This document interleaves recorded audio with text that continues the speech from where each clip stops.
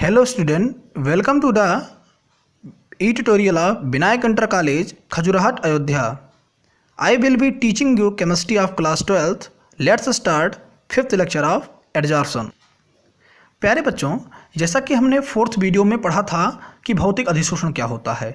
यदि अधिशोष और अधिशोषक के मध्य कोई दुर्बल वांडरवाल बल या भौतिक बल मौजूद है तो हमारा भौतिक अधिशोषण कहलाता था। परंतु जब अधिशोषक की सतह पर अधिशोष के कण रासायनिक बल के द्वारा बंधे होते हैं, अर्थात यदि अधिशोषक और अधिशोष के मध्य एक रासायनिक बल मौजूद है और वह रासायनिक बल प्रयास संयोजक आबंध होता है तो यह प्रक्रम हमारा रासायनिक अधिशोषण कहलाता है। अर्थात यदि अधिशोष और अधिशोषक के मध्य कोई रासायनिक बल मौजूद है तो हमारा रासायनिक अधिशोषण कहलाएगा।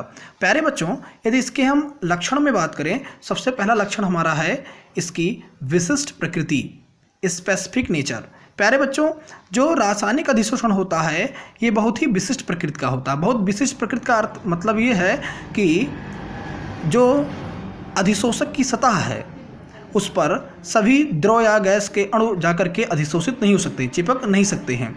अधिशोषक की सतह पर वही गैस या द्रव के अणु जाकर के अधिशोषित होंगे, जो उस सतह से रासायनिक आबंध का निर्माण कर सकते हैं। यदि वो रासायनिक आबंध अर्थात केमिकल बॉन्डिंग कर सकते हैं सतह से तो जा करके वहाँ पर अधिशोषित होंगे। यदि केमिकल बॉन्डिंग नहीं कर सकते हैं तो अधिशोषित नहीं होते होंगे।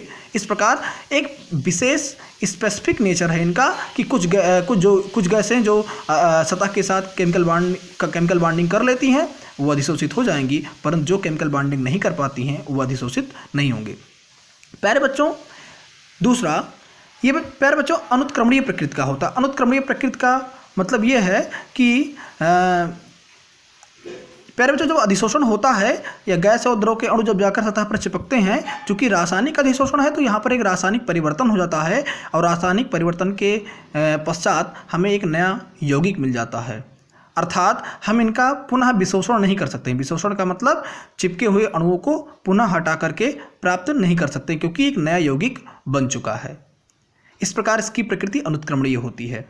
प्यारे बच्चों तीसरी जो बात है, बहुत महत्वपूर्ण है, अधिशोषण की एंथैल्पी। प्यारे बच्चों, हम जानते हैं कि अधिशोषण एक उष्मा छिपी प्रक्रिया है। उष्मा छिपी प्रक्रिया का मतलब क्या होता है कि अधिशोषण के दौरान उष्मा की मात्रा मुक्त होती है। परंतु, प्यारे बच्चों, जब भौतिक अधिशोषण होता है तो भौतिक अधिशोषण में एक दुर्बल वांडरवाल बल होता है। और दुर्बल वांडरवाल बल होने के कारण भौतिक अधिशोषण में उष्मा का मान कम होता है, अर्थात कम मात्रा में उसमें मुक्त होती है, परंतु रासायनिक अधिशोषण में एक रासायनिक बल मौजूद होता है और रासायनिक बल चूँकि प्रबल होता है, इस कारण इसमें जो उष्मा का मान होता है, मुक्त उष्मा का मान बहुत ज़्यादा होता है। अर्थात जो रासायनिक अधिशोषण की एंथैल्पी है, इसका मान बहुत ज़्यादा होता है। इस प्रकार हम कह सकते हैं कि रासायनिक अधिशोषण में निहित अधिशोषण उष्मा का मान भौतिक अधिशोषण की अपेक्षा बहुत अधिक, अर्थात 200 से 400 किलो जूल मूल इनवर्स होती है। प्यारे बच्चों जो लास्ट है, ताप का प्रभाव इफ़ेक्ट ऑफ़ टेम्परेचर प्यारे बच्चों यदि हम ताप में वृद्धि करें तो प्रारंभ में हम यह पाते हैं कि अधिशोषण की मात्रा में थोड़ी वृद्धि होती है। परंतु कुछ समय पश्चात अधिशोषण की मात्रा में कमी होने लगती है। प्यारे बच्चों, ऐसा इसलिए होता है क्योंकि कहीं पर भी यदि केमिकल बॉन्डिंग करनी है तो केमिकल बॉन्डिंग के लिए स्टार्टिंग पॉइंट पर या शुरुआती स्थिति पर सबसे पहले उष्मा की ज़रूरत होती है। वह अणु अपनी एक्टिवेशन एनर्जी सक्रियण ऊर्जा भर की सक्रियण ऊर्जा की अमाउंट में एनर्जी लेता है। उसके पश्चात केमिकल बॉन्डिंग स्टार्ट करता है।